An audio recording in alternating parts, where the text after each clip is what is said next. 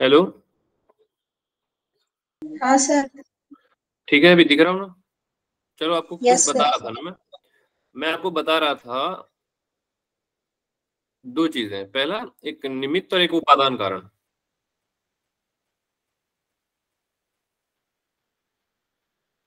कोई कुछ बोल रहा है पेरिस है?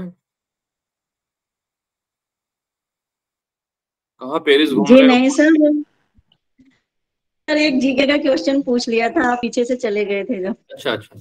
चलिए बता रहा हूँ। देखिए एक सोना है सोने से गहना बनता है और बनाता कौन है? सोनार सोनार सोना जौहरी। जौहरी भी बोलते हैं ना। सोना सोने से गहना बना सोना उसका कारण है। ठीक है? और जो गहना बना वो कार्य है। कारण और कार्य तो सभी को पता है कारण क्या होता है कार्य क्या होता है। मिट्टी और घड़े में कार्य क्या है और कारण क्या है? मिट्टी और घड़े में कारण जो है वो मिट्टी है। मिट्टी मिट्टी है सर तो कार्य जो हुआ वो घड़ा है। कार्य कारण का सिद्धांत पता होगा कारण में ही कार्य विद्यमान होता है। ठीक है? अब देखो मैं सोने वाला एग्ज़ाम्पल जो बता रहा हूँ निमित्त और उपादान के लिए। सोनार अ, सोने से गहना बनता है बनाता कौन है? जौहरी। तो सोना जो है वो अ, सोना जो है वो गहने का उपादान कारण है।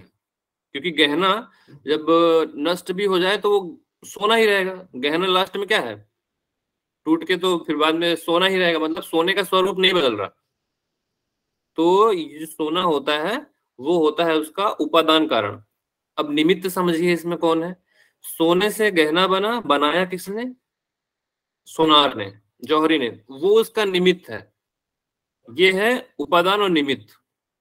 ऐसे आप घड़े से भी समझ सकते हो। घड़ा जो है वो क्या है? कार्य है और बनाने वाला कार्य है। कारण क्या है? मिट्टी है।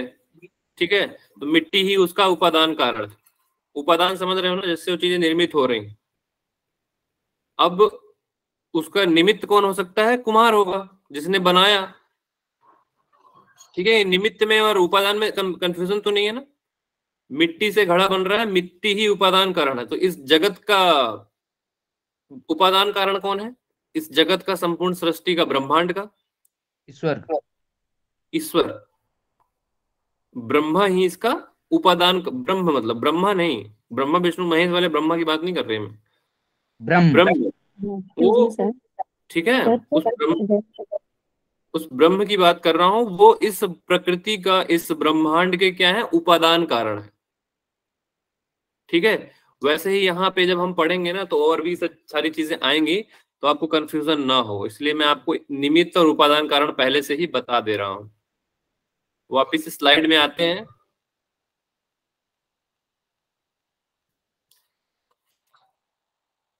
किसी को कोई डाउट है क्या राखी जी शालिनी जी? सर सर तो ये जैसे नो सर क्लियर हो गए सर सर आपने जैसे बोला कि जौहरी बनाता है तो वो निमित्त कारण है। तो यहाँ पे ईश्वर बना रहे तो वो होने चाहिए निमित्त कारण और हम बने जैसे सोना गहने जो सोने के बने हैं हम तो पंच महाभूतों के बने हैं। तो पंच महाभूत उपादान कारण होने चाहिए। देखो कारण जो कार्य है समाप्त होकर कारण में ही लीन हो जाएगा। ये संसार सागर यदि समाप्त हो भी जाए तो ब्रह्म से ही निकला है ब्रह्म में ही लीन हो जाएगा। मांडुक्य उपनिषद में एक एग्ज़ाम्पल आता है मकड़ी के जाले वाला। उसमें मकड़ी ही कार्य है मकड़ी ही मकड़ी ही कारण है। पूछो कैसे? मकड़ी ही उस जाले को बनाती है मकड़ी ही उस जाले को फिर निगल भी लेती है। पता होगा कहीं ना कहीं पढ़ा आपने होगा। मांडुक्य उपनिषद पढ़ा है क्या कहीं? हाँ सर दस उपनिषद में है ना सर। मांडुक में है कि मुंडक में है ये? मांडुक मांडुक्य सर। मांडुक्य नहीं मुंडक में होगा सर। मांडुक्य तो छोटा है सर बारह मंत्रों वाला है मांडुक्य। मांडुक्य नहीं मुंडक उपनिषद होगा। ठीक है? मुंडक उपनिषद में इसका वर्णन देखने को मिलता है। ठीक है? क्लियर है ओके निमित्त और उपादान फिर कुछ मैं पूछूँगा बाद में। अभी किसी को डाउट तो नहीं है ना? बता दो अभी फिर आगे बढ़ रहे हैं सर, हमारे वाले उसमें निमित्त कौन होगा? उपादान भी ईश्वर और निमित्त भी ईश्वर। ये आएगा अभी साक्षी आएगा। उस, हम लोग हम लोग जो समझना चाह रहे हैं ना, वो इसमें ही है, ये केवल बाद में ही वर्णित है वो चीज़। केवल में ही निमित्त और उपादान जो जो हमको ज़रूरत है ना, वो आएगा इसमें। मैं आपको समझा दे रहा हूँ बेसिक। अब हम चलते हैं मेन सूत्र की तरफ़। सभी को ऑडियो वीडियो क्लियर है और स्लाइड सभी को दिख रही है। देखिए जो अभी आपको समाधि से सिद्धियाँ मिली, वो आपको विभूति पाद में पूर्ण रूप से बताई गई। कितनी सिद्धियाँ मिली थी, आपको मालूम होगा, ठीक है? अब इसमें बोला कि केवल समाधि से ही सिद्धि हो ज़रूरी नहीं, दूसरे भी निमित्त हो सकते हैं, अब उसका वर्णन करते हैं। कौन कौन से जन्म, औषधि, मंत्र, तप, समाधि जा, सिद्धय। ठीक है? यदि आप मेरे साथ साथ याद करते चलोगे समाधि साधन विभूति को तो अच्छा रहेगा। ठीक है? और इस पे देखते हैं कि दूसरी दूसरे निमित्त कैसे हो सकते हैं। अभी इसके पहले जो हुआ था सिद्धि उसमें निमित्त क्या था?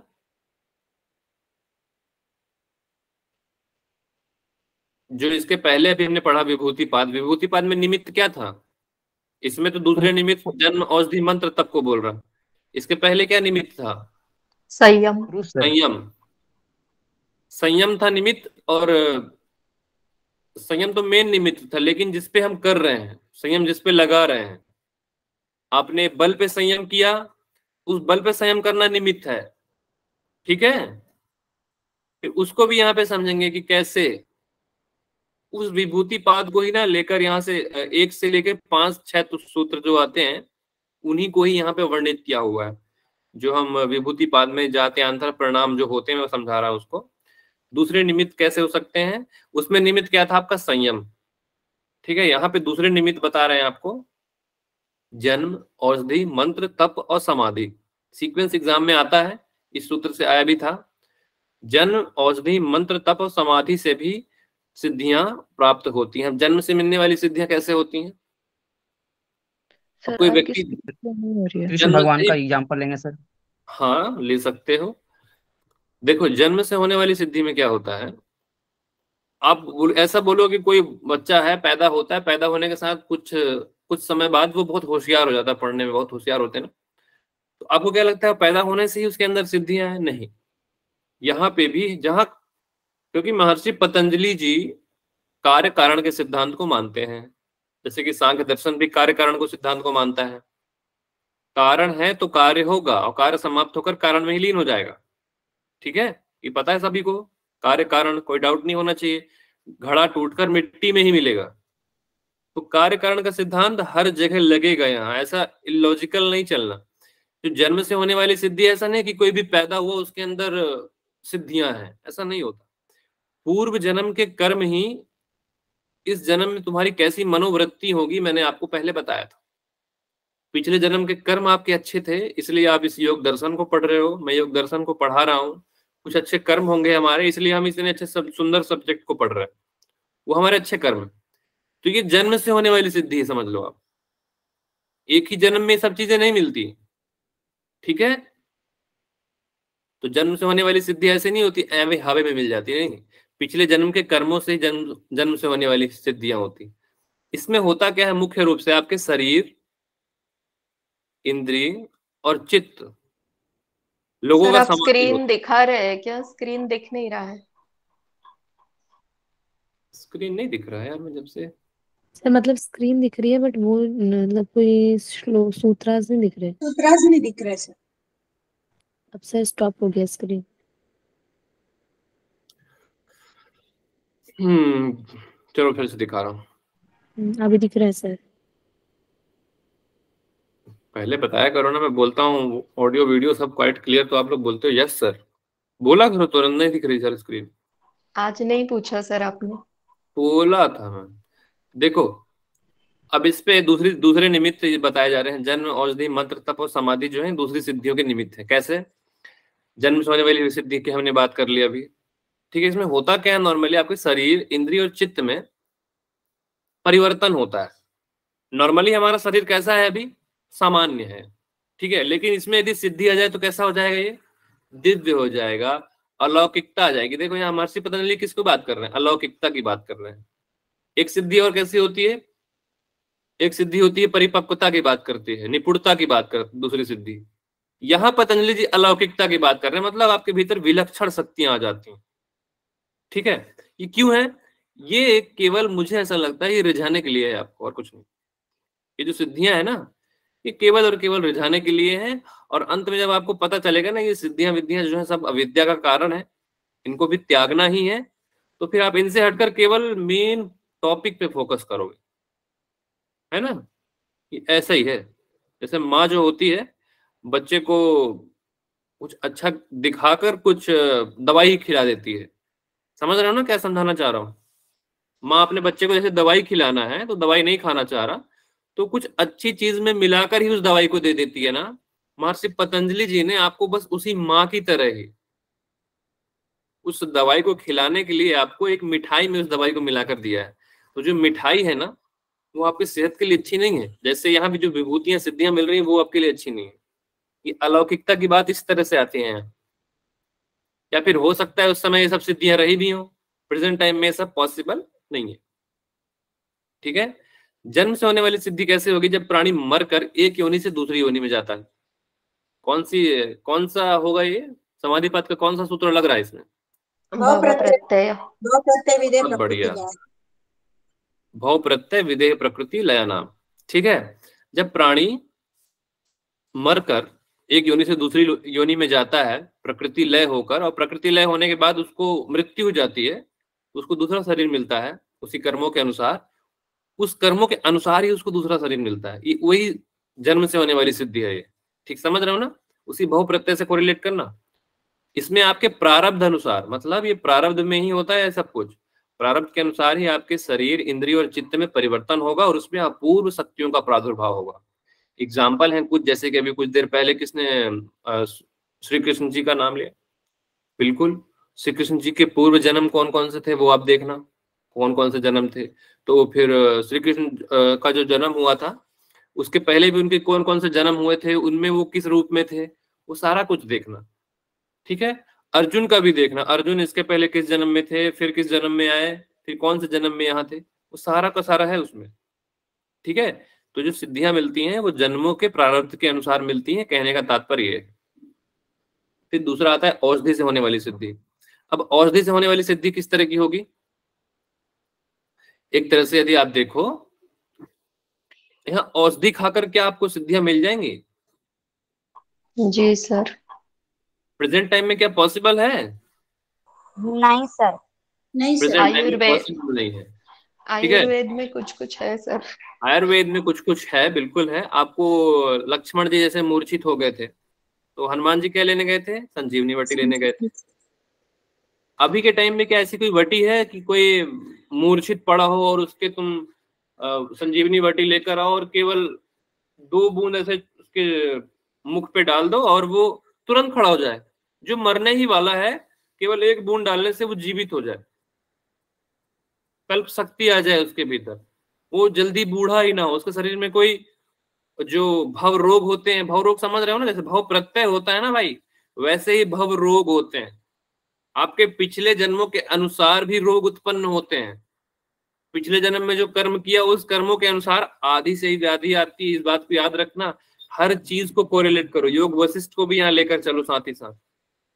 आदि से ही व्याधि आती है, उसको ही हम भव भव रोग बोलते हैं। तो कुछ रोग जो होते हैं, पिछले जन्मों से आते हैं। आपने इस जन्म में तो अच्छा कार्य किया, योगा किया अच्छा किया, प्रयोग, लेकिन फिर भी रोग आ रहे हैं। वो आपके हो सकता है कुछ प्रारब्ध ऐसे अब उनको समाप्त करने के लिए, उन रोगों को समाप्त करने के लिए जो कुछ औषधि ली जाती है, जिससे आपका शरीर बूढ़ा ना हो आपका शरीर जवान रहे, आप सौ साल जिए, आप डेढ़ सौ साल लगे रहे। मतलब औषधि लेने का तात्पर्य केवल ये है कि आप, आपका शरीर जीवित रहे और आप सिद्धि के समाधि असंप्रज्ञात समाधि तक के लिए अग्रसर रहे। ये औषधि से होने वाली सिद्धि है। है ना? औषधि की आवश्यकता यहाँ केवल इस चीज़ के लिए है। कई लोग देखते हो अंधे हैं, उनको एक जड़ी बूटी ऐसे उनके आँख में डाली, उनकी आँखों में रोशनी आ गई, जो जन्म से ही अंधे थे। उनकी आँखों में रोशनी आ गई। तो ये सब औषधि वाली सिद्धियाँ हैं। है ना, संजीवनी वट्टी इसका एक एग्ज़ाम्पल है। और कोई एग्ज़ाम्पल किसी को याद है शरीर से, औषधि से होने वाली सिद्धि का? जिसको खाकर एकदम शक्ति आ जाए। कोई एग्ज़ाम्पल ऐसा?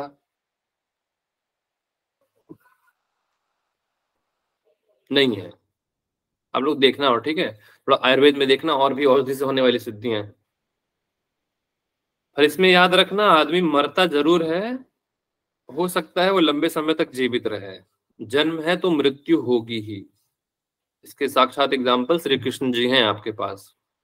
अब देखो मंत्र से होने वाली सिद्धि। मंत्र से होने वाली सिद्धि क्या है? स्वाध्याय दिष्ट देवता संप्रयोग है। आपको किसी भी मंत्र का अनुष्ठान करने बोला है और आप मंत्र के अनुष्ठान से आपको कुछ सिद्धियाँ मिल जाए। आपके शरीर, इंद्रिय और चित्त में विलक्षण शक्ति आ जाए किसी एक मंत्र से तो मंत्र से होने वाली सिद्धियाँ हैं। ठीक है? तंत्र शास्त्र में आपने देखा होगा मंत्र का बहुत ज़्यादा वर्णन होता है। वेदों में भी मंत्र मंत्रों का वर्णन होता है। तो ये मंत्र से होने वाली सिद्धियाँ हैं। फिर तप से होने वाली सिद्धियाँ कैसी होती हैं?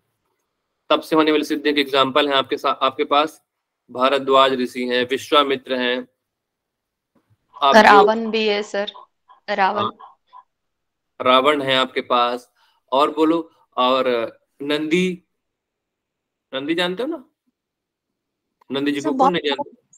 सर बहुत सारे राक्षस सर जिन्होंने सिद्धियाँ मिलाई। हाँ नंदी जी हैं। नंदी जी ने एक ही जन्म में इतना तपस्या किया था कि उनको एक ही जन्म में सिद्धियाँ मिली थी। ठीक है? उसकी भी एक कहानी है। उसको अलग से चर्चा कर लेना आप लोग कभी। तप से होने वाली सिद्धि में क्या है? कर्म। कर्म आपके डिसाइड करते हैं। तप क्या है आपका? तप क्या समझते हो तप तप का मतलब ये नहीं कि एक पैर से खड़े हो जाना। रावण एवं जाके नहीं कहीं बैठ जाएगा। वो अपने सब शास्त्रों के अनुसार वेदोक्त कर्म करके ही तप करेगा। अपने आप को तपाना, अपने आप को पीड़ा देना तप नहीं कहलाता। मैंने तप में लास्ट टाइम चर्चा की थी। कष्ट संघर्ष सहन करना तप नहीं है। अपने धर्म का त्याग ना करते हुए जो भी आपने, जो भी धर्म है आपका, और जो आपकी मन और इंद्रिय को अच्छा लगे, अनुकूल हो, मन जो का चित्त का मल है उसको दूर करे, वो तप कहलाता है। तो शास्त्रोक्त विधि से किया हुआ तप ही तप कहलाता है, उससे प्राप्त होने वाली सिद्धियों का वर्णन है। ठीक है? कुछ एग्ज़ाम्पल है। अब अंत में आता समाधि से होने वाली सिद्धि, जो इसके पहले हमने पढ़ी है। विभूतिपाद पूरा इसी से वर्णित है। धारणा ध्यान समाधि से होने वाली सिद्धियाँ। उससे भी शरीर, इंद्रिय और चित्त में कई सारे अपूर्व शक्तियों का प्रादुर्भाव हो रहा था। ठीक है? अब आप देखोगे इसमें जितनी भी सिद्धियाँ हैं, जितनी भी सिद्धियाँ आपको मिली, उसमें हो क्या रहा है? जैसे कि आप कोई भी एग्ज़ाम्पल ले लो, वहाँ पे एक परिणाम बन रहा है। परिणाम कैसा बन रहा है? जाति अंतर परिणाम। मैंने आपको बोला, आप संयम कीजिए। आपको आकाश में उड़ना है। आप क्या करोगे? मान लो किसी पक्षी पे आपने संयम कर लिया। या फिर मैं आपको बोलू, आपको हाथी के बल, हाथी के बल पे संयम कर लीजिए आप। है ना? तो आपका बल हाथी के बल के परिणाम से परिवर्तित हो रहा है। ठीक है? वहाँ पे एक जाति अंतर परिणाम दिखाई दे रहा है आपको कि नहीं दिखाई दे रहा है? आप आप हो आपके भीतर जाति परिवर्तित हो रही है मतलब किसकी जाति? आपने पक्षी पे संयम किया हुआ है तो पक्षी की जो शक्तियाँ हैं वो आपके भीतर आ रही है तो आपकी जाति बदल रही है ना? जाति से तात्पर्य मनुष्यत्व जो है आपका पक्षित्व में बदल रहा है तो जाति बदल रही है। तो जाति बदलने के अनुसार एक अंतर परिणाम उत्पन्न होता है उसको यहाँ जाति अंतर परिणाम कहते हैं। ये किससे हो रहा है? उसी सिद्धियों से हो रहा है। उन्हीं सिद्धियों की कहानी है। आप इससे इसमें कन्वर्ट हो रहे हो या फिर बदल रहे हो अपने आप को, अपने शरीर को अणु कर रहे हो या लघु कर रहे हो या अष्ट सिद्धि की बात करो या भूत, जय या जय किसी भी प्रकार की सिद्धि की आप बात करो, वहाँ पे एक जाति अंतर परिणाम हो रहा है। आप अपने भौतिक शरीर से जो आपको मिला हुआ है, आप उस भौतिक शरीर को सिद्धि के द्वारा परिवर्तित करके एक शरीर से दूसरे शरीर में परिवर्तित कर रहे हो। कर रहे हो ना सिद्धियों में? कर रहे हैं ना हम? जात्यंतर परिणाम हो रहे हैं ना हर सिद्धि में। अलौकिक शक्तियाँ आ रही है ना। तो अलौकिक शक्तियों का जो डिफरेंस है ना इधर से उधर हो जाना वही जात्यंतर परिणाम है। मनुष्य से आप पक्षी में तब्दील हो जाओ बदल जाओ उसकी शक्ति आ जाए आप आकाश में उड़ने लगो हाथी का बल आपके भीतर आ जाए तो यही सब जात्यंतर परिणाम। अब ये जात्यंतर परिणाम के बारे में ही बोल रहे हैं। क्या जात्यंतर परिणाम किस प्रकार होता है? आप जब मनुष्य से पक्षी में बदल रहे हो तो ये कैसे हो रहा है? तो इसके बारे में बताया जा रहा है। इसको कौन पूरा करता है? प्रकृति। ठीक है? जात्यांतर परिणाम प्रकृत्या पूरा मतलब प्रकृति अपूरात। मतलब एक जाति से दूसरी जाति में बदल जाना प्रकृतियों के अनुरूप होता है। कौन करता है इसको? एक जाति से दूसरी जाति बदलने का कार्य कौन करता है? प्रकृति। प्रकृति क्या है? पंच महाभूत है आपकी। ज्ञानेन्द्रियाँ हैं, पंच तत्व है है ना? तन्मात्राएँ हैं। जितना कुछ है आपका चार्ट पच्चीस तत्वों का, वो सारी की सारी प्रकृति है। तो प्रकृति ही होती है वहाँ पे, उपादान कारण के रूप में। वहाँ पे प्रकृति उपादान कारण होती है। ठीक है? इस जात्यांतर परिणाम में प्रकृति आपकी उपादान कारण होती है। उपादान मतलब जैसे मिट्टी से घड़ा बन रहा है, बन रहा है ना? यहाँ पे प्रकृति उपादान का रूप निभाती है। और इसमें आपका एक लॉजिक होता है। जैसे कि आपको एक एग्ज़ाम्पल देकर समझाया जाए जाति अंतर परिणाम का। जाति अंतर के परिणाम में प्रकृति कैसे अपना भागीदारी होती, कैसे अपना हिस्सा निभाती है? वो ऐसा निभाती है जैसे कि किसी जंगल में आप देखो, बहुत सूखी है, सूख गया जंगल, ठीक है? अब उस जंगल में आप देखोगे, अभी अग्नि नहीं है, ठीक है? वहाँ अग्नि उत्पन्न नहीं हुई है। बहुत सूख गया जंगल मतलब बिल्कुल सूखा, शुष्क वन जिसको बोलते अब वहाँ पे इतना उसमें सूखापन, इतना ज़्यादा उत्पन्न हुआ, है ना? कि एक समय ऐसा आया कि वहाँ पे अग्नि उत्पन्न हुई अपने से, है ना? टंकार हुआ, लकड़ी आपस में टकराई तो चिंगारी बनी, होता है ना, ऐसे रगड़ के हम उसको मैंने लास्ट टाइम बताया भी था। यज्ञ में जो अग्नि उत्पन्न करते हैं कैसे करते हैं? याद है किसी को? यज्ञ में अग्नि उत्पन्न करने बताई थी एक यंत्र के द्वारा लकड़ी के लकड़ी लकड़ी पे लकड़ी का घर्षण करके या पत्थर से घर्षण करके हाँ वो उसका यंत्र का नाम कुछ बताया था मैंने। अरे ये क्या तो था वो नाम? चलो बाद में डिस्कस करेंगे उस पर तो इस पे देखोगे आप, वो जंगल है, वो सूखा है, नॉर्मल वहाँ पे अग्नि नहीं है, लेकिन वो इतना सूखा पड़ा वहाँ पे कि आपस में लकड़ियों के टकराने से ही वहाँ आग उत्पन्न हो गई।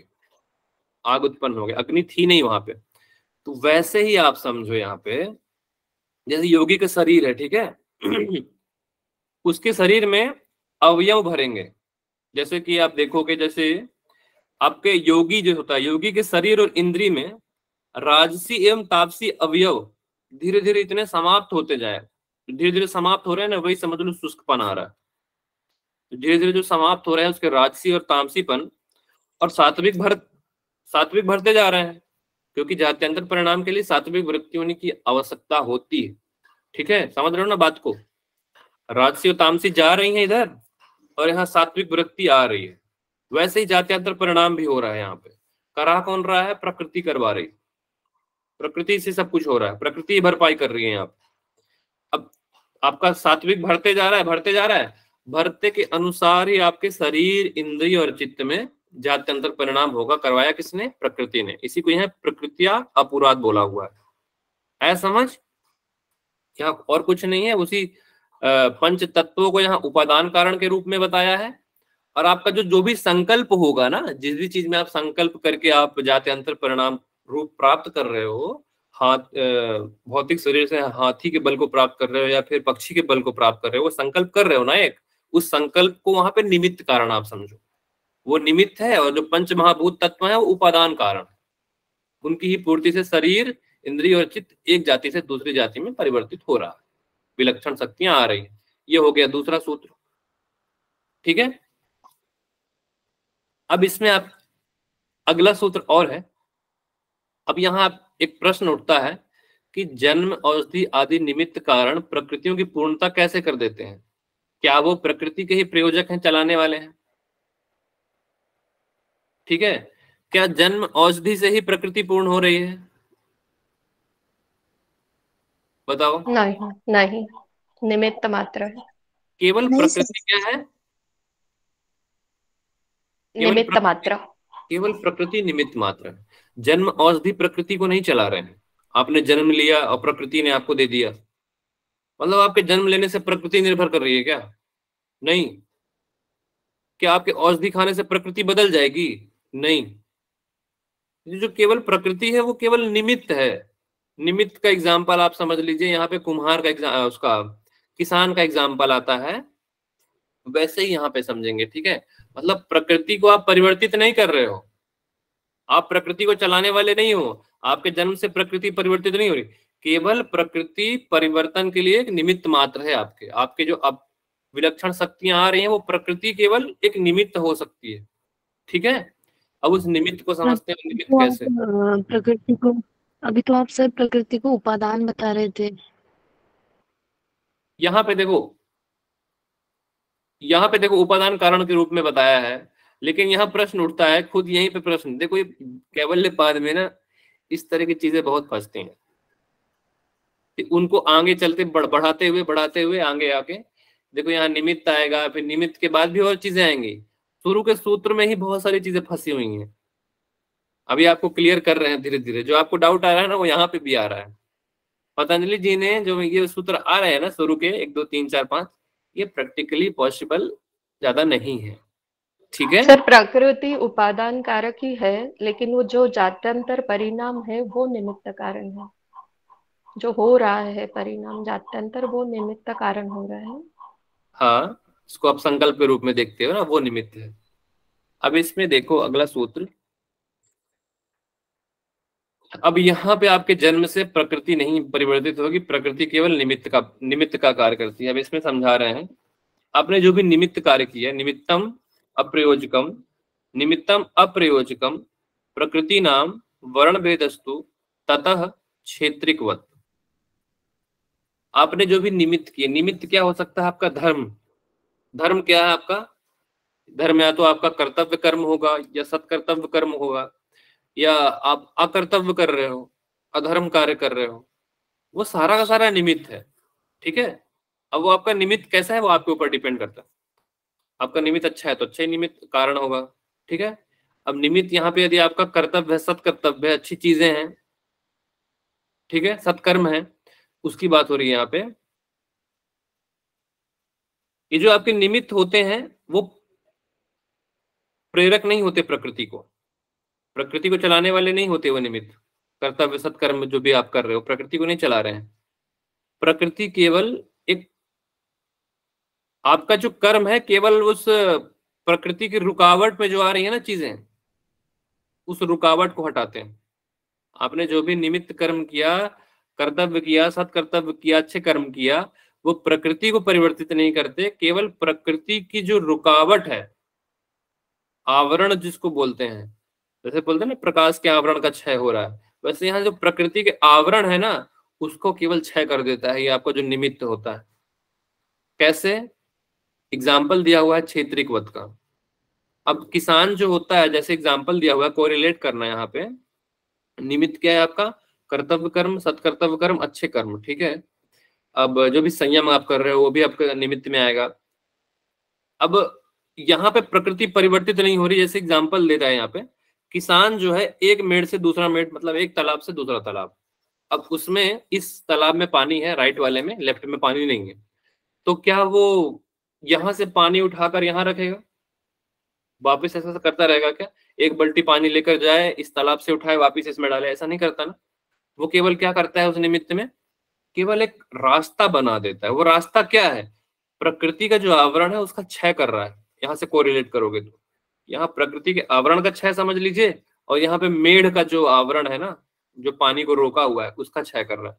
जैसे ही क्षय करता है उस मेढ़ का, पूरा पानी उधर से इधर आ जाता है। ठीक है? तो वो जो मेड़ था ना, वो उस रुकावट का कारण था। वहाँ उसने पूरे पानी को नहीं बदला, पूरा पानी नहीं डाला यहाँ। केवल उसका जो बीच का कारण जो रोका हुआ है ना, उस चेतन तत्व को देखने के लिए। उस चेतन तत्व को देखने के लिए जो रोका हुआ है, उसको केवल उसने हटाया। मतलब जो भी बाधा आ रही है उस परम तत्व को देखने के लिए। यहाँ पे आप ऐसे कोरिलेट करके समझो। आपको उस चेतन तत्व को देख ही नहीं पा रहे हैं। उस चेतन तत्व को देखने के लिए जो बाधा आ रही है ना, उसको आपने हटाया। केवल और केवल यहाँ ये हो रहा है, निमित्तम अप्रयोजकम में। इसमें किसी को अभी भी किसी को डाउट है? बताओ जल्दी।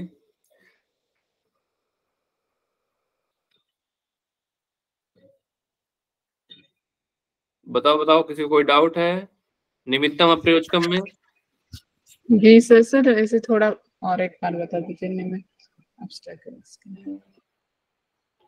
आपका निमित्त देखिए गौरी जी क्या होगा? अच्छे कर्म बुरे कर्म।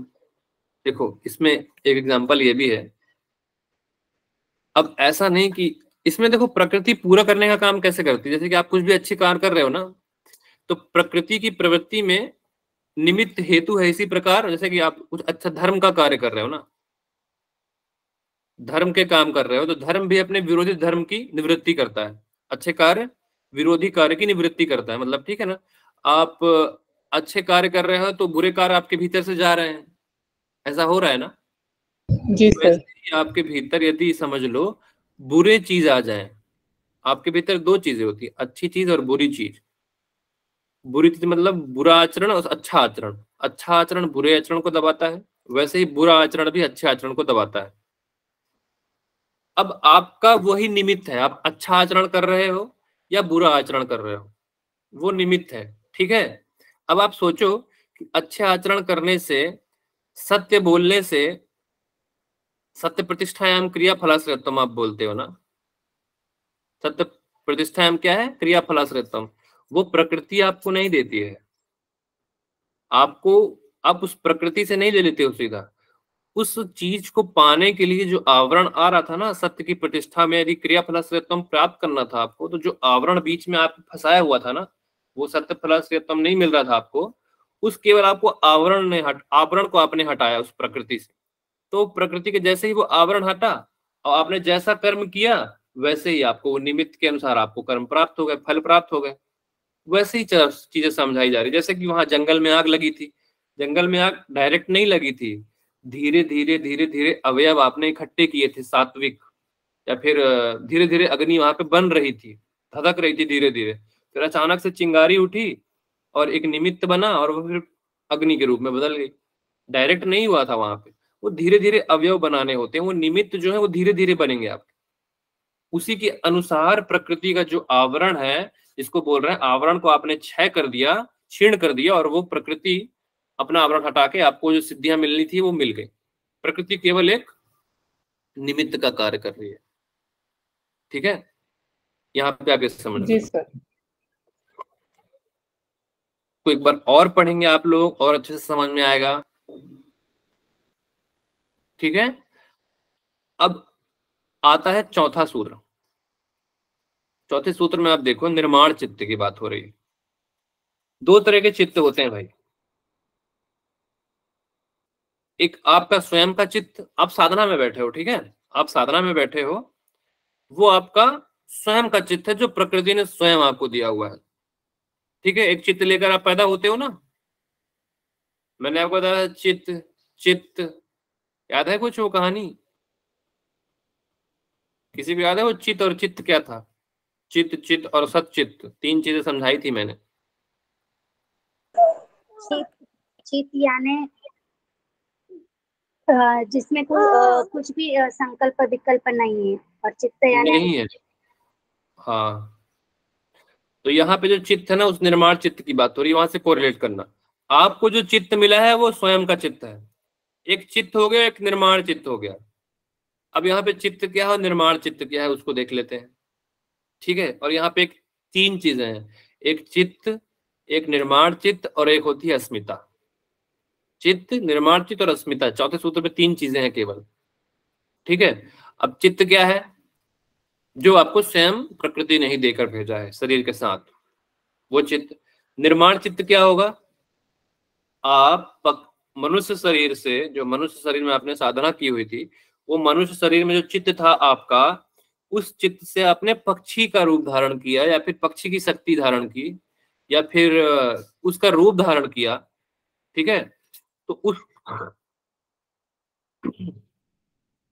उस रूप से दूसरे रूप में जो आप परिवर्तित हुए तो एक अलग से चित्त बना। शरीर जैसे ही बनेगा ना, चित्त उसके अनुसार बन जाएगा। यहाँ क्लोन की बात हो रही।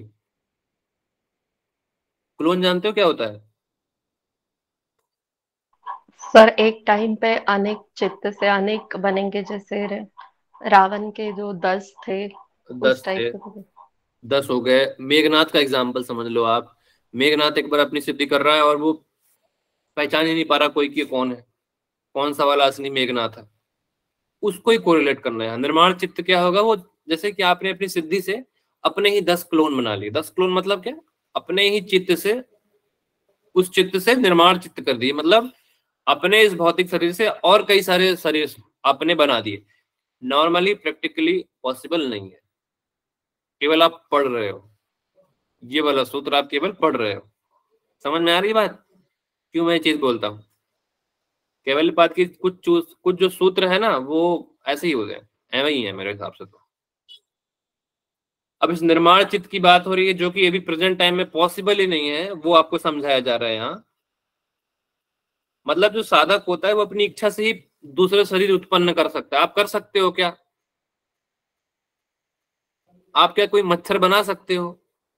वैज्ञानिक मच्छर बना पाए क्या अभी तक? खुद से? आप क्या किसी के भीतर जान उत्पन्न कर सकते हो? शरीर उत्पन्न कर सकते हो? नहीं कर सकते हो। ठीक है? हम क्या आत्मा, हम केवल एआई बना पाए हैं अभी तक। है ना?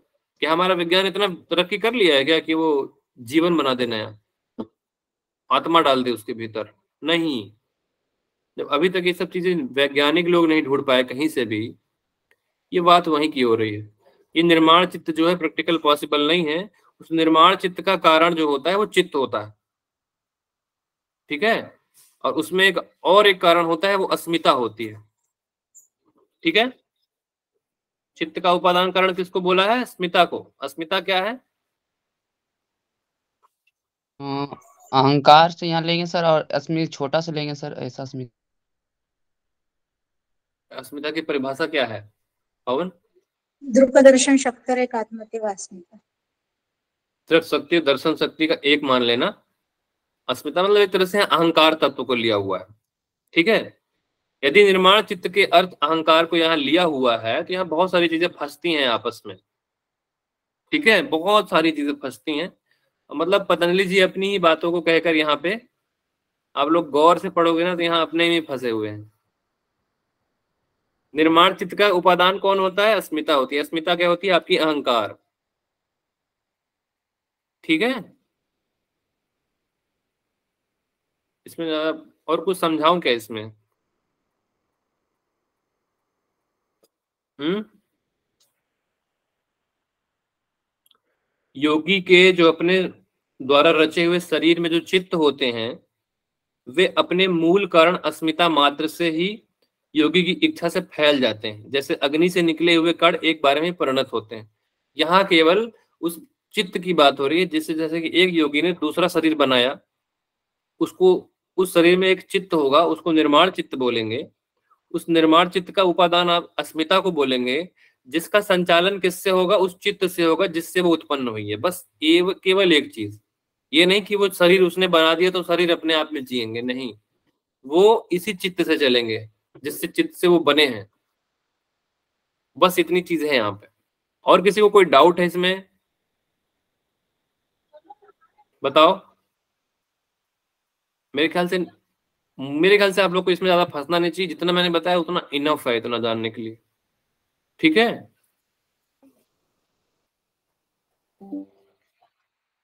पांचवा सूत्र देख लेते हैं।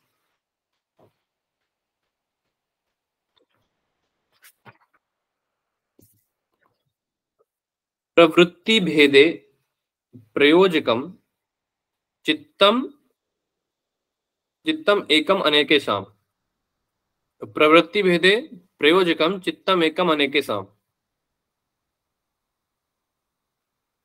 प्रवृत्ति क्या है? आपकी प्रवृत्ति अलग है मेरी प्रवृत्ति अलग है। प्रवृत्ति में भेद है ना? सभी की प्रवृत्ति में भेद है कि नहीं है? यस सर सभी की प्रवृत्ति में भेद है। अब उस इसके पहले जो आपको चित्त प्राप्त हुआ था उस उसी चित्त को उसी चीज़ को यहाँ पे दोबारा समझाया जा रहा है। आपके अनेक चित्त बन गए ठीक है? बहुत सारे शरीर आपने उत्पन्न कर दिए। जैसे अपने शरीर से भिन्न भिन्न इंद्रियों को भिन्न भिन्न कामों में नियुक्त करने वाला एक ही चित्त रहता है उसी प्रकार उन बनाए हुए चित्तों को भिन्न भिन्न कामों में नियुक्त करने वाला संचालक एक ही चित्त होता है, जो योगी का स्वाभाविक चित्त है। वही बात जो इसके पहले देखी। आपने बहुत सारे क्लोन अपनी इच्छा से बना दिए। वो उसी सिद्धि पे चल रही सारी कहानियाँ। आपने अपने ही शरीर से दूसरे शरीर बना दिए तो क्या वो शरीर जो है, उसके जो चित्त होंगे, वो क्या अपने से चलेंगे? नहीं। उसका प्रयोजकम कौन है? उसको नियुक्त करने वाला कौन है? एक चित्त। एक चित्त कौन है? उस योगी साधक का चित्त। समझ में आया क्या बोल रहे हैं यहाँ पे?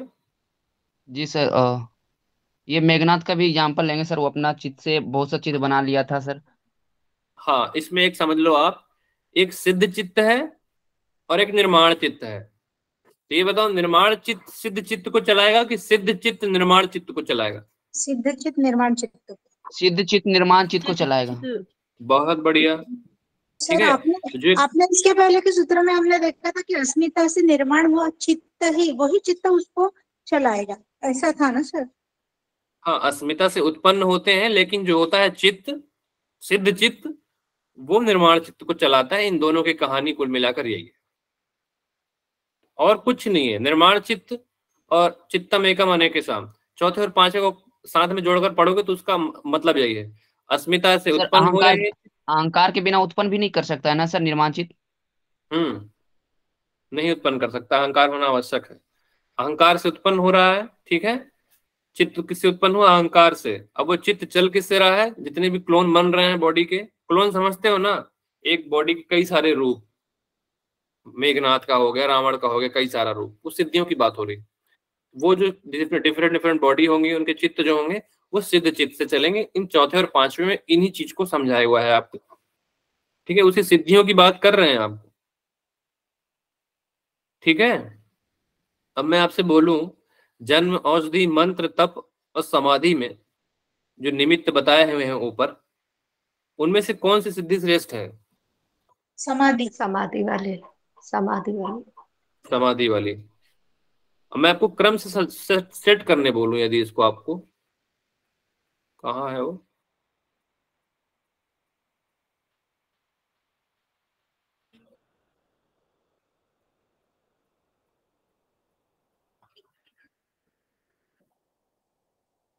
आ गया, ये। चलो मैं इसको क्रम से सेट करने बोलूँ आपको, इसके श्रेष्ठता के अनुसार। जन्म से होने वाली औषधि से होने वाली मंत्र से होने वाली तप से होने वाली और समाधि से होने वाली। पाँच चीज़ दिख रही है ना यार? चलो के अनुसार आप इसको सेट करो। तप मंत्र औषधि और जन्म से क्योंकि जन्म और औषधि से मंत्र वाली श्रेष्ठ है। कौन औषधि आनी चाहिए सर। पहले औषधि आनी चाहिए फिर जन्म होगा फिर मंत्र फिर तप और लास्ट में समाधि। ऐसा लगता है नहीं समझे ना आप लोग। यहाँ आपको सोचना कहीं दिख रहा है कि योग दर्शन में चीज़ वर्णित है? ये मैं आपको सोचने के लिए दे रहा हूँ कि खुद से सोचो कि इसमें श्रेष्ठ कौन सी है फिर उसके बाद समाधि। होगी? समाधि श्रेष्ठ है फिर सर तप रहेगा। फिर मंत्रों से ऐसे लिखा है मेरे बुक में कि मंत्रों से होने वाली सिद्धि जन्म औषधि से श्रेष्ठ होती है। फिर पता नहीं मुझे।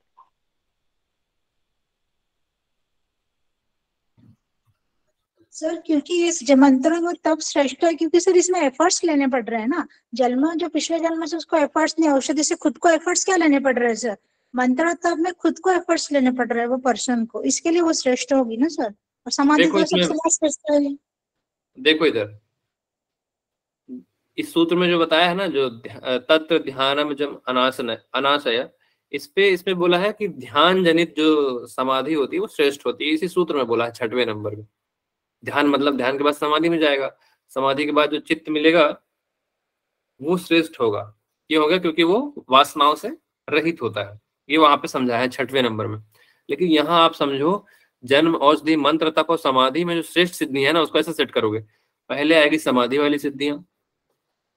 ठीक है? दूसरी आएगी आपकी जन्म वाली सिद्धियाँ। जन्म वाली क्यों बोल रहा हूँ? भव प्रत्यय श्रेष्ठ है कर्म संस्कारों से मिला हुआ है सर ऐसा। ये बताओ भव प्रत्यय श्रेष्ठ है या फिर कायेंद्र कायेंद्रीय सिद्धि सिद्धि क्षय तप से श्रेष्ठ है? इंद्रिय सिद्धि सर। वो प्रत्यय में। भव प्रत्यय श्रेष्ठ नहीं है? नहीं सर उसमें एफर्ट्स तो नहीं लिए ना सर कुछ ऐसा मुझे अरे नहीं लिए तो पिछले जन्म में तो किए हैं ना। उसका तो जन्म ही हो रहा है केवल सिद्धि लेने के लिए। आप तो इस जन्म में कर रहे हो तब ताकि हो सकता है इस जन्म में मिले भी और ना भी मिले। तब में कंडीशन है कि नहीं है मनीषा जी? हाँ सर ये है। पिछले जन्म में उसने किया है बराबर है तभी मिल तब रहा तुम इस जन्म में कर रहे हो बाबू वो पिछले जन्म में करके आगे बढ़ चुका है। ये है यहाँ पे कॉन्सेप्ट समझ में आ रहा है? किसी को डाउट तो नहीं है? तो समाधि वाली सिद्धि श्रेष्ठ होगी फिर मुझे लगता है जन्म वाली सिद्धि ही श्रेष्ठ होगी फिर तप वाली सिद्धि श्रेष्ठ होगी फिर मंत्र वाली सिद्धि श्रेष्ठ होगी, फिर औषधि वाली सिद्धि श्रेष्ठ होगी। श्रेष्ठता के अनुसार, ठीक है? किसी को कोई डाउट है मेरे इस क्रम में? आया समझ? जन वाली श्रेष्ठ क्यों है, तप वाली श्रेष्ठ क्यों नहीं है? क्योंकि जो तप वाला इस जन्म में कर रहा है, वो ऑलरेडी करके केवल सिद्धि लेने आया है, केवल ईश्वर तत्व से मिलने आया है, जो पिछले जन्म में उसने नहीं किया वो होता है भाव प्रत्यय ठीक है? अरे ये बताओ कृष्ण जी श्रेष्ठ है कि अर्जुन श्रेष्ठ है? कृष्ण जी।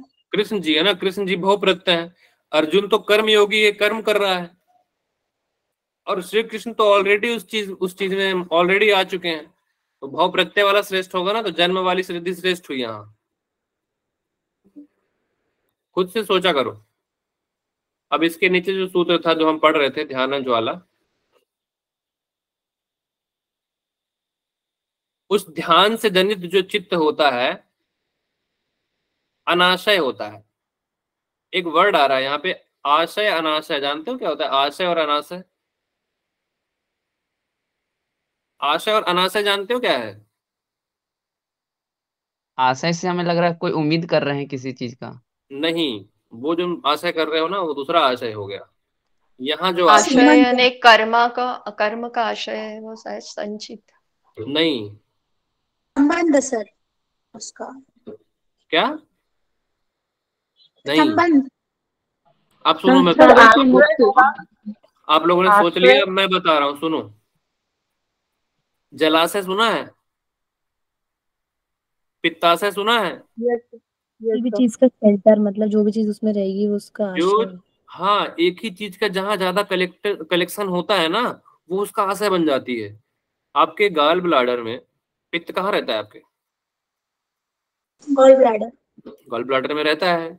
जब वहाँ पे पित्त इकट्ठा होता है ज़्यादा एक्सेसिव अमाउंट वहाँ होता है इसलिए उसको पित्त का पित्ताशय बोल देते हैं। इसलिए बोलते हैं ना जहाँ जल बहुत सारा इकट्ठा हो गया है उसी जल को फिर हम बाद में जलाशय बोल देते हैं। वो जल ही बाद में इकट्ठा होकर जलाशय बन गया। यहाँ जो अनाशय बोला है ना वो कर्म संस्कारों से रहित अनाशय बोला यहाँ पे आशय और अनाशय में ये अंतर है। यदि कर्म संस्कारों से युक्त है तो वो आशय है। और उस आशय को क्या बोलोगे आप एक शब्द में? वासना बोलोगे। आगे वाला सूत्र आएगा वासना वाला। वो जो कर्म संस्कारों से युक्त रहता है ना, वासना। वैसे तो वो वासनाओं से ही संस्कार बनते हैं, ठीक है? तो यहाँ पे जो ध्यान जनित आपका चित्त होगा, जो समाधि वाला है वो श्रेष्ठ इसलिए है क्योंकि उसमें कर्म संस्कार नहीं है। ठीक है? समझ में आई बात? हाँ सर। हम्म। अब इसके बाद वाला सूत्र तो आप सभी को मालूम है। ध्यान जब मतलब होता है समाधि से उत्पन्न हुआ जो चित्त होता है वह उन पाँचों सिद्ध निर्माण चित्तों में अनाशय अर्थात कर्म की वासना और संस्कारों से रहित होता है, यही अभिप्राय है और यही बताया हुआ है भोज वृत्ति में। ठीक है? यहाँ बताया हुआ है ये। पढ़ना है क्या इसको एक बार? पढ़ लो, सुन लो एक बार, देख लो, क्यों श्रेष्ठ है? उन पाँच प्रकार से उत्कर्षता को प्राप्त हुए चित्तों में जो चित्त ध्यान से प्राप्त होता है, अर्थात समाधि द्वारा विलक्षण शक्ति वाला होता है वह कर्म संस्कारों से कैसा होता है? रहित होता है। बाकी जो और है ना चार, उसमें कर्म संस्कार होंगे। कर्म संस्कार होंगे तो क्या होगा? वापिस जन्म होगा। वापिस जन्म होगा तो फिर क्या होगा? फिर कर्म करोगे। इसलिए वो श्रेष्ठ है। कौन सा वाला? ध्यान वाला। समझ में आया क्यों श्रेष्ठ है? अतः वही कैवल्य का हेतु है। कौन सा वाला? ध्यान वाला। दूसरे जो है जन्म औषधि आदि वाले उसमें विलक्षण शक्ति युक्त चित्तों में कर्मों के संस्कार रहते हैं। इस कारण वे कैबल्य के हेतु नहीं हो सकते। आया समझ? जो मैंने आपको शब्दों में बताया हुआ है यहाँ वही लिखा हुआ है। सेम टू सेम सातवें नंबर का तो सभी को मालूम हुआ है योगी का कर्म कौन सा होता है? दो यहाँ चार प्रकार के कर्म है। शुक्ला और कृष्ण। ठीक है देखो यहाँ लिखा हुआ है। कर्म। हाँ शुक्ल कृष्ण बहुत बढ़िया। देखो यहाँ पे एक शुक्ल एक शुक्ल कर्म होगा, एक कृष्ण कर्म होगा। नॉर्मली देख लो यहाँ पे। एक शुक्ल, एक कृष्ण। एक शुक्ल कृष्ण। एक शुक्ल, एक कृष्ण। एक शुक्ल कृष्ण। ठीक है? ये तीन हो गए। आया समझ? यहाँ पे तीन कैसे हुए? एक अच्छे कर्म, एक बुरे कर्म। बुरे कर्म को बुरा मतलब कृष्ण मतलब काला काला मतलब बुरा कृष्ण मतलब बुरे कर्म कर्म। पाप कर्म शुक्ल कर्म मतलब पुण्य कर्म अच्छे कर्म। शुक्ल मतलब सफ़ेद होता है शुक्ल मतलब साफ़ होता है शुक्ल मतलब अच्छा कर्म कृष्ण मतलब बुरा कर्म। दो हो गए तीसरा कौन सा है? शुक्ल कृष्ण कर्म अच्छा कर्म भी बुरा कर्म पाप पुण्य मिश्रित कर्म ठीक है? अब चौथा जो है ना यहाँ पे योगिनस त्रिविध। यहाँ पे तीनों की बात हो गई। अब यहाँ पे जो बोला, योगिनस त्रिविध इतरे शाम लेकिन जो योगियों का कर्म होता है, इनसे इतर होता है। मतलब कैसा होता है? अशुक्ल अकृष्ण। ना बुरा, ना अच्छा। निष्काम कर्म। अब ये बताओ, शुक्ल कर्म में कौन सा गुण होगा? कृष्ण कर्म में कौन सा गुण होगा? शुक्ल कृष्ण में कौन सा गुण होगा? और अशुक्ल कृष्ण में कौन सा गुण होगा? चलो बताओ शुक्ल में। और में कोई गुण नहीं होगा सर। गुण रहित होगा वो। वो गुणातीत होगा। पहले शुक्ल का बताइए। शुक्ल में तम होगा सर। शुक्ल में तम होगा बहुत बढ़िया तम तम नहीं होगा सर। बहुत बढ़िया। सॉरी सर शुक्ल अच्छा होता है शुक्ला में सत्व होगा। चलो नेहा बताओ कृष्ण कर्म में कौन सा गुण होगा?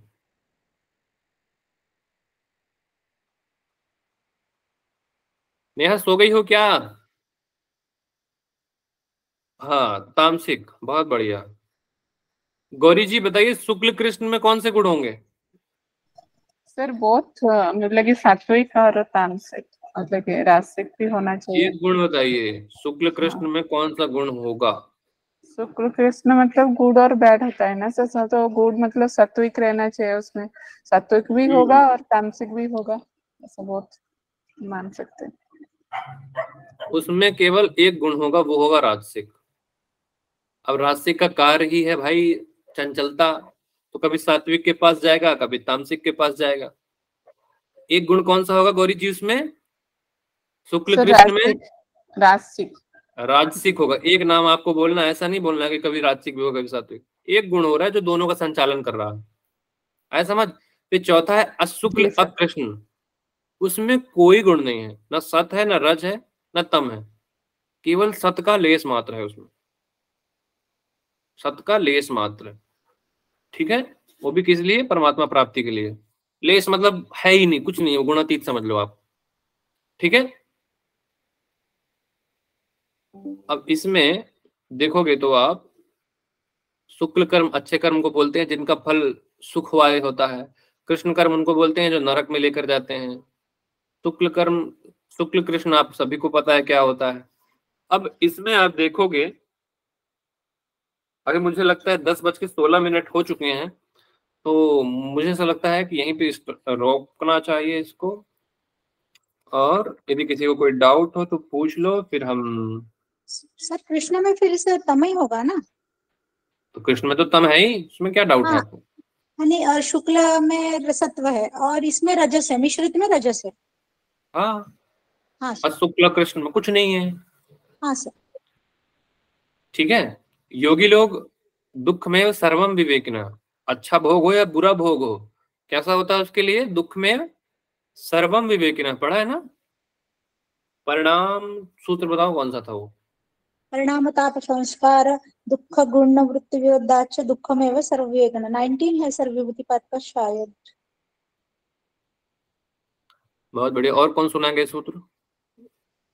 मीरा जी सुनाएँगे क्या?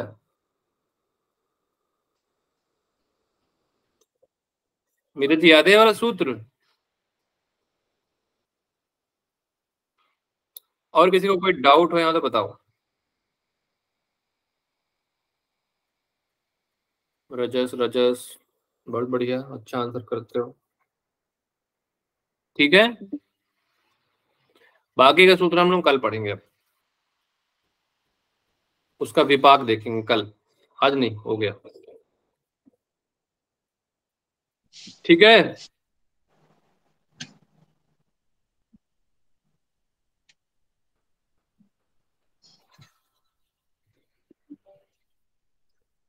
हेलो सबको समझ में आया ना? कोई डाउट हो यदि तो रखना पढ़ना एक बार जाके और वापस आगे पूछ लेना। सर। साधन पाद का सर पाद साधन पाद का पंद्रहवा सूत्र है सर मैंने गलत बोला। वो वाला। कोई बात नहीं। ये मुझे भी लग रहा था। बट मैं सोची कि मुझे तो बहुत कम याद है इसलिए मैं सोच रही थी। परिणाम तापत संस्कार दुःखैर्गुण वृत्ति विरोधाश्च दुःख- दुःखमेव ये बताओ अभी तक सब लोगों ने वीडियो क्यों नहीं भेजा मेरे को समाधि पाठ का?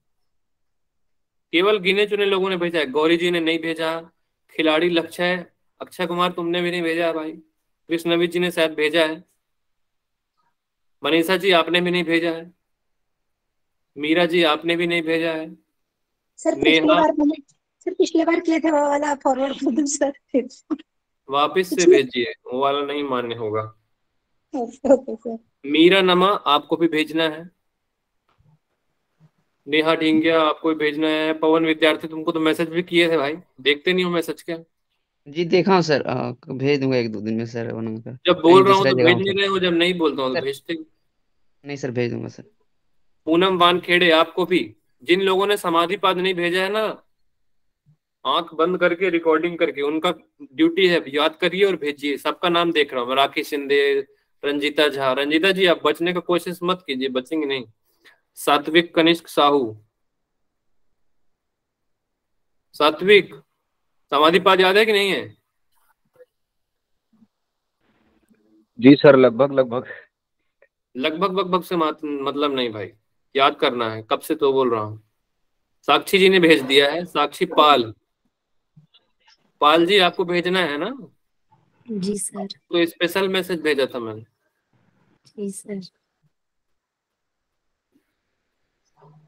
शालिनी यादव, आपको भी ना? सबको बोल रहा हूँ मैं जिसका भी नाम छूटा हो, ऐसा मत सोचना कि मैं आपको नहीं बोल रहा हूँ। प्रियंका पांडे जी, आप कैसे रह गई? सबका नाम ले सभी के सूत्र मेरे को आज शाम तक आ जाने चाहिए, जिन जिन लोगों ने याद किया। मेरे नंबर पे व्हाट्सअप कर दीजिएगा सभी। मीरज जी, आपका माइक ऑन है, कुछ बोलना चाह रही हैं क्या? ठीक है फिर चलते हैं।